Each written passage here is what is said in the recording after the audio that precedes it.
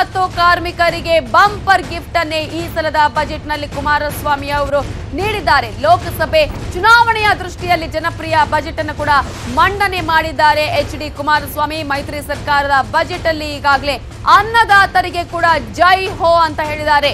ರೈತರು ಮತ್ತು ಕಾರ್ಮಿಕರಿಗೆ ಈ ಸಲದ ಬಜೆಟ್ ದೊಡ್ಡ ಗಿಫ್ಟ್ ಅನ್ನೇ ಕೂಡ ನೀಡಿದೆ. ಬಿಗ್ ಗಿಫ್ಟ್ ಅನ್ನ ನೀಡಿದ್ದು ಲೋಕಸಭೆ ಚುನಾವಣೆಯ ದೃಷ್ಟಿಯಲ್ಲಿ ಜನಪ್ರಿಯ ಬಜೆಟ್ ಅನ್ನ ಮಂಡನೆ ಮಾಡಲಾಗಿದೆ. ಅನ್ನದಾತರಿಗೆ ಜೈ ಹೋ ಅಂತ ಹೇಳಿ ಕುಮಾರಸ್ವಾಮಿ ಅವರಿಗಾಗಲೇ ಅವ ಅನ್ನದಾತರ ಕಡೆ ಒಂದು ಒಲವನ್ನ ತೋರಿಸಿದ್ದಾರೆ. ರಾಜ್ಯವ್ಯಾಪಿ ಕೆರೆ ಅಭಿವೃದ್ಧಿಗೆ ಭರ್ಜರಿ ಅನುದಾನವನ್ನ ನೀಡಿದ್ದು ಕೃಷಿ ಮತ್ತು ಕೃಷಿ ಸಂಬಂಧಿತ ಯೋಜನೆಗಳಿಗೆ ನಲವತ್ತಾರು ಸಾವಿರ ಕೋಟಿಯನ್ನ ಈ ಸಲದ ಬಜೆಟ್ನಲ್ಲಿ ಮೀಸಲಿಡಲಾಗಿದೆ. ಆಲ್ರೆಡಿ ರೈತರಿಗೆ, ರೈತರಿಗೂ ಕೂಡ ಈ ಒಂದು ದೊಡ್ಡ ಬಂಪರ್ ಅನ್ನೇ ಕೊಟ್ಟಿದ್ದಾರೆ. ಕೃಷಿ ಮತ್ತು ಕೃಷಿ ಸಂಬಂಧಿತ ಯೋಜನೆಗಳಿಗೆ ಈ ಸಲದ ಬಜೆಟ್ ಅಲ್ಲಿ ನಲವತ್ತಾರು ಸಾವಿರ ಕೋಟಿಯನ್ನ ಮೀಸಲಿಡಲಾಗಿದ್ದು, ಬಜೆಟ್ನ ಒಟ್ಟು ಗಾತ್ರದ ಶೇಕಡ ಇಪ್ಪತ್ತರಷ್ಟು ಮೀಸಲನ್ನ ಈ ಒಂದು ರೈತರಿಗೆ ಕೃಷಿಗೆ ಕೃಷಿಯ ಯೋಜನೆಗಳಿಗೆ ಮೀಸಲಿಡಲಾಗಿದೆ. ರೈತನಿಗೆ ಜೈಕಾರವನ್ನ ಹಾಕಿದ್ದಾರೆ ಸಿಎಂ ಕುಮಾರಸ್ವಾಮಿ. ಸಾವಯವ ಸಿರಿಧಾನ್ಯ ಕೃಷಿಗೆ ಬಂಪರ್ ಅನ್ನ ನೀಡಿದ್ದು, ರೇಷ್ಮೆ ಮೀನುಗಾರಿಕೆ ಪಶುಸಂಗೋಪನೆಗೂ ಕೂಡ ಬಂಪರ್ ಗಿಫ್ಟ್ ಅನ್ನ ನೀಡಿದ್ದಾರೆ. ಜೊತೆಗೆ ಕಾರ್ಮಿಕರಿಗೆ, ಅಂಗನವಾಡಿ ಕಾರ್ಯಕರ್ತೆಯರಿಗೂ ಕೂಡ ಈ ಸಲದ ಬಜೆಟ್ ಅಲ್ಲೂ ಕೂಡ ಗಿಫ್ಟ್ ಅನ್ನ ನೀಡಿದ್ದಾರೆ. ಸಿಎಂ ಎಚ್ ಡಿ ಕುಮಾರಸ್ವಾಮಿ ಅವರು ಒಟ್ಟಾರೆ ಮಧ್ಯಮ ವರ್ಗ, ಕಾರ್ಮಿಕ ವರ್ಗವನ್ನ ರೈತರನ್ನ ಗಮನದಲ್ಲಿಟ್ಟುಕೊಂಡು ಈ ಸಲದ ಬಜೆಟ್ ಅನ್ನ ಮಂಡನೆ ಮಾಡಲಾಗಿದ್ದು, ಕಾರ್ಮಿಕರಿಗೆ, ಅಂಗನವಾಡಿ ಕಾರ್ಯಕರ್ತೆಯರಿಗೂ ಕೂಡ ಈ ಸಲದ ಬಜೆಟ್ನಲ್ಲಿ ಬಂಪರ್ ಗಿಫ್ಟ್ ಅನ್ನ ನೀಡಿದ್ದಾರೆ ಸಿಎಂ ಕುಮಾರಸ್ವಾಮಿ. ಒಟ್ಟಾರೆ ಸಾಕಷ್ಟು ಕೊಡುಗೆಗಳನ್ನ ಘೋಷಣೆ ಮಾಡಲಾಗಿದೆ ಈ ಸಲದ ಬಜೆಟ್ನಲ್ಲಿ ಲೋಕಸಭೆಯನ್ನೇ ಚುನಾವಣೆಯನ್ನೇ ದೃಷ್ಟಿಯಲ್ಲಿಟ್ಟುಕೊಂಡು ಜನಪ್ರಿಯ ಬಜೆಟ್ ಅನ್ನ ಮಂಡನೆ ಮಾಡಲಾಗಿದೆ. ಜನಪರವಾದ ಬಜೆಟ್ ಅನ್ನ ಈಗಾಗಲೇ ಮಂಡಿಸಿದ್ದಾರೆ ಸಿಎಂ ಕುಮಾರಸ್ವಾಮಿ ಅವರು.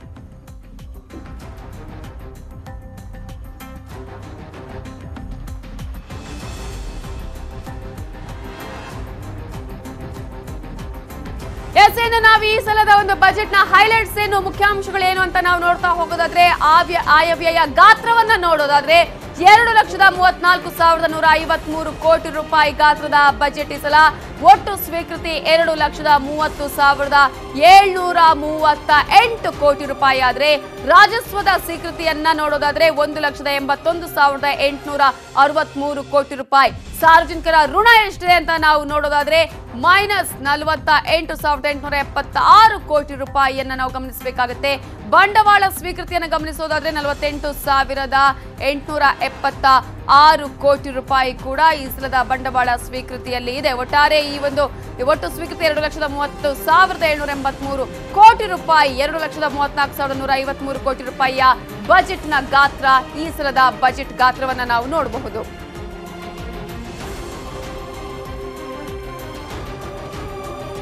ಇನ್ನು ಕೃಷಿ ವಲಯಕ್ಕೆ ನಾವು ಗಮನಿಸ್ತಾ ಹೋಗೋದಾದ್ರೆ ಕೃಷಿ ವಲಯದಲ್ಲಿ ಕೃಷಿ ಭಾಗ್ಯ ಯೋಜನೆಗೆ ಇನ್ನೂರ ಐವತ್ತು ಕೋಟಿ ರೂಪಾಯಿಯನ್ನ ಮೀಸಲಿಡಲಾಗಿದೆ. ಶೂನ್ಯ ಬಂಡವಾಳ ಕೃಷಿ ಯೋಜನೆಗೆ ನಲವತ್ತು ಕೋಟಿ ರೂಪಾಯಿ, ಸಾವಯವ ಕೃಷಿ ಯೋಜನೆಗೆ ಮೂವತ್ತ ಐದು ಕೋಟಿ ರೂಪಾಯಿ, ಇಸ್ರೇಲ್ ಮಾದರಿ ಕೃಷಿ ಯೋಜನೆಗೆ ನೂರ ನಲವತ್ತೈದು ಕೋಟಿ ರೂಪಾಯಿ. ಸಿರಿಧಾನ್ಯ ಬೆಳೆಗಾರರಿಗೆ ಉತ್ತೇಜನವನ್ನು ಕೂಡ ನೀಡಲಾಗಿದೆ.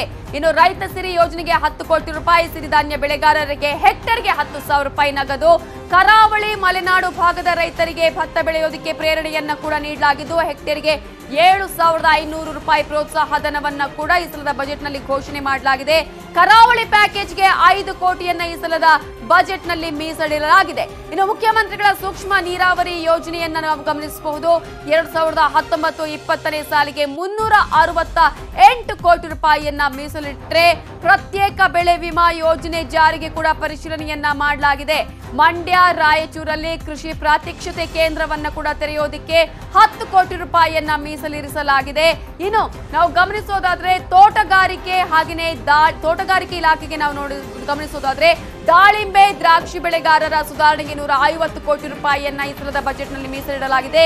ಜೇನು ಕೃಷಿ ಉತ್ತೇಜನಕ್ಕೆ ಐದು ಕೋಟಿ ರೂಪಾಯಿ ಮಿಡಿ ಸೌತೆ ರಫ್ತು ಮೌಲ್ಯವನ್ನ ಹೆಚ್ಚಿಸೋದಕ್ಕೆ ಆರು ಕೋಟಿ ರೂಪಾಯಿಯನ್ನ ಈ ಸಲದ ಬಜೆಟ್ನಲ್ಲಿ ಮೀಸಲಿರಿಸಲಾಗಿದೆ. ಹಾಗೆಯೇ ರೇಷ್ಮೆ ಬೆಳೆಗಾರರಿಗೆ ನಾವು ಗಮನಿಸೋದಾದ್ರೆ ಚಾಮರಾಜನಗರದಲ್ಲಿ ರೇಷ್ಮೆ ಕಾರ್ಖಾನೆಯ ಪುನಶ್ಚೇತನಕ್ಕೆ ಐದು ಕೋಟಿ ರೂಪಾಯಿಯನ್ನ ಮೀಸಲಿರಿಸಲಾಗಿದೆ. ರೇಷ್ಮೆ ವಿಸ್ತರಣಾ ಕಾರ್ಯಕ್ರಮಕ್ಕೆ ಅಂತಾನೆ ಎರಡು ಕೋಟಿ ರೂಪಾಯಿಯನ್ನ ಮೀಸಲಿರಿಸಲಾಗಿದ್ದು, ರೇಷ್ಮೆ ಮಾರಾಟ ಮಂಡಳಿ ಬಲವರ್ಧನೆಗೆ ಹತ್ತು ಕೋಟಿ ರೂಪಾಯಿ, ಸಂತೇಮರಹಳ್ಳಿ ರೇಷ್ಮೆ ಕಾರ್ಖಾನೆಯ ಆಧುನೀಕರಣಕ್ಕೆ ಎರಡು ಕೋಟಿ ರೂಪಾಯಿ, ರಾಮನಗರ ಮತ್ತು ಹಾವೇರಿಯಲ್ಲಿ ರೇಷ್ಮೆ ಮಾರುಕಟ್ಟೆಗೆ ಹತ್ತು ಕೋಟಿ ರೂಪಾಯಿಯನ್ನ ಮೀಸಲಿರಿಸಲಾಗಿದೆ.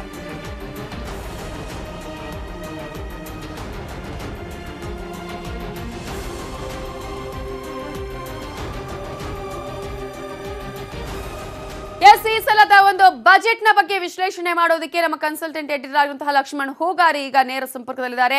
ಲಕ್ಷ್ಮಣ್ ಹೂಗಾರಿ, ಈಗಾಗಲೇ ಎಲ್ಲೋ ಒಂದ್ ಕಡೆ ಬಜೆಟ್ನ ಮಂಡನೆ ಮಾಡೋದಕ್ಕೆ ಅವಕಾಶ ಕೊಡ್ತಾರಾ ಇಲ್ವಾ ಅನ್ನುವಂತಹ ಒಂದು ರೀತಿಯ ಗೊಂದಲದ ನಡುವೆಯೇ ಸುದೀರ್ಘವಾದ ಬಜೆಟ್ ಅನ್ನ ಮಂಡನೆ ಮಾಡಿದ್ದಾರೆ. ಹಾಗಾಗಿ ಈ ಸಲದ ಬಜೆಟ್ ಅನ್ನ ನಾವು ಗಮನಿಸೋದಾದ್ರೆ ಯಾವ ರೀತಿಯಾದಂತಹ ಬಜೆಟ್? ಈಗಾಗಲೇ ಕಾರ್ಮಿಕರಿಗೆ ಅಥವಾ ಕೃಷಿಕರಿಗೆ ಒಂದು ಬಂಪರ್ ಅನ್ನೇ ಕೊಡುವುದರ ಮೂಲಕ ಜನಪರ ಜನಪ್ರಿಯ ಬಜೆಟ್, ಲೋಕಸಭಾ ಚುನಾವಣಾ ಬಜೆಟ್ ಇದು.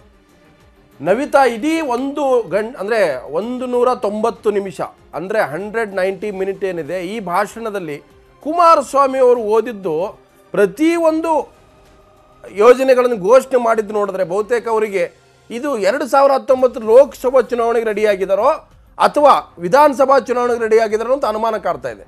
ಸೊ ಅವರು ಒಂದು ರೀತಿ ಕೊಡುಗೆ ದಾನಿ ರೀತಿ ಪ್ರತಿಯೊಂದಕ್ಕೂ ಎರಡು ಕೋಟಿ, ಮೂರು ಕೋಟಿ ಆರು ಕೋಟಿ, ಐದು ಕೋಟಿ, ಹತ್ತು ಕೋಟಿ, ಇಪ್ಪತ್ತು ಕೋಟಿ, ಮೂವತ್ತು ಕೋಟಿ, ಎಲ್ಲದಕ್ಕೂ ದುಡ್ಡು ಹಂಚಿದ್ದಾರೆ.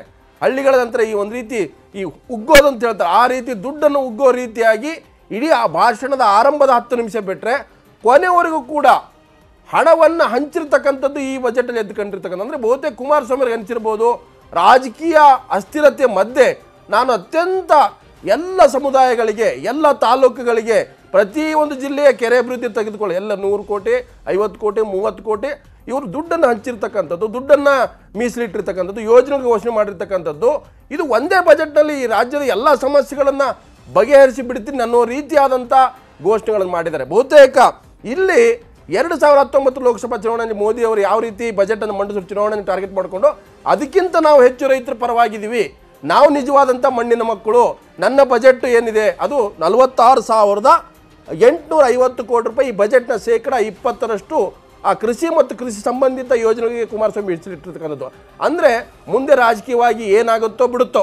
ಕುಮಾರಸ್ವಾಮಿ ಆಡಳಿತದಲ್ಲಿ ನೋಡಿ ಅಸಂಘಟಿತ ಕಾರ್ಮಿಕರಿಗೆ, ಅಂಗನವಾಡಿ ಕಾರ್ಯಕರ್ತರಿಗೆ ಮೀನುಗಾರರಿಗೆ, ಭತ್ತ ಬೆಳೆಯವರಿಗೆ, ಆಮೇಲೆ ರೇಷ್ಮೆ ಬೆಳೆಗಾರರಿಗೆ, ಆ ಟೊಮಾಟೊ, ಮಾವು, ಯಾವ್ಯಾವುದಿದೆ, ಹುಡುಕಿ ಹುಡುಕಿ ಹುಡುಕಿ ಹುಡುಕಿ, ಎಲ್ಲೆಲ್ಲಿ ಸಿಗುತ್ತಲ್ಲ ಐದು ಕೋಟಿ, ಮೂರು ಕೋಟಿ, ಎರಡು ಕೋಟಿ. ಒಂದು ರೀತಿ ದಾನಪತ್ರದ ರೀತಿ ಕುಮಾರಸ್ವಾಮಿ ಇವತ್ತು ಘೋಷಣೆಗಳನ್ನು ಮಾಡಿದ್ದಾರೆ. ಅದು ನಿಜವಾಗಲೂ ಜಾರಿಗೆ ಬಂದರೆ ಒಳ್ಳೆಯ ಬಜೆಟ್ ಅಂತ ಹೇಳ್ತೀನಿ. ಆದರೆ ಇದು ಜನಗಳಿಗೆ ಘೋಷಣೆ ಮಾಡೋ ಮೂಲಕ ಈ ಚುನಾವಣೆಯನ್ನು ಅದು ಬಹುತೇಕ ಕುಮಾರಸ್ವಾಮಿ ಅವರಿಗೆ ಅದು ಲೋಕಸಭಾ ಚುನಾವಣೆ ಅಂತ ಅನಿಸಿದೆಯೋ ಅಥವಾ ವಿಸ, ವಿಧಾನಸಭಾ ಚುನಾವಣೆ ಅಂತ ಅನಿಸಿದೋ ಅದು ನಮಗೆ ಡೌಟ್ ಬರ್ತಾ ಇದೆ. ಒಂದಂತೂ ಸ್ಪಷ್ಟ, ಇವತ್ತು ಬಜೆಟ್ ಮಂಡನೆಗೆ ಬಿ ಜೆ ಪಿ ಬಿಟ್ಟುಕೊಡಲ್ಲ ಅನ್ನುವಂಥ ಒಂದು ಅನುಮಾನ ಏನಿತ್ತು? ಗಲಾಟೆ ಮಾಡ್ತಾರೆ.